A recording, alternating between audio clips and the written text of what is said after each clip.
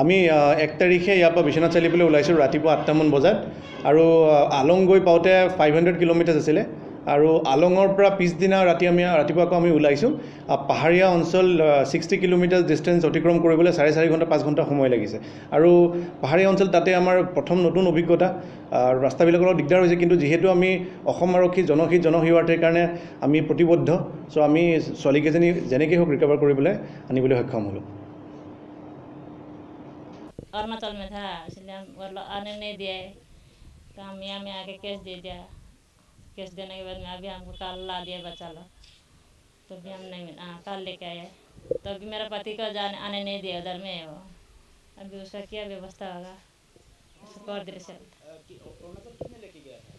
आज- नहीं हम लोग सबको लेके गया था एक तो आदमी ने ना लेकिन वो आदमी हम लोग को छोड़ के भाग गया। नहीं। नहीं नहीं नहीं है बोलते इधर में। हम आके ढूंढा है इधर भैया लोग को पूछा है।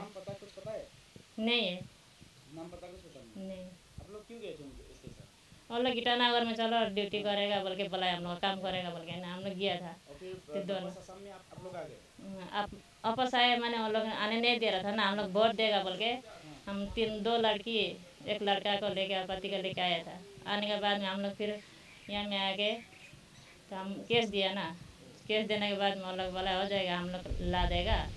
उसके पिताजी को उधर में जाने दो लड़की लोग के साथ में ऐसे बोला है। तो होगा बोल के हम लोग फिर भेज दिया है ना। तो थाना में एक तो जिंजा थाना में एक तो कागज़ दे दो बोला है। तो फिर हम एक तो कागज़ इधर में लिख के दिए है। तो लोग ला देगा ला देगा बोला है। तो लास्ट में अभी ये पाली ले लेके आए हैं ना। Arunachal tea garden. Emsa tea garden. हाँ Emsa tea garden. and all over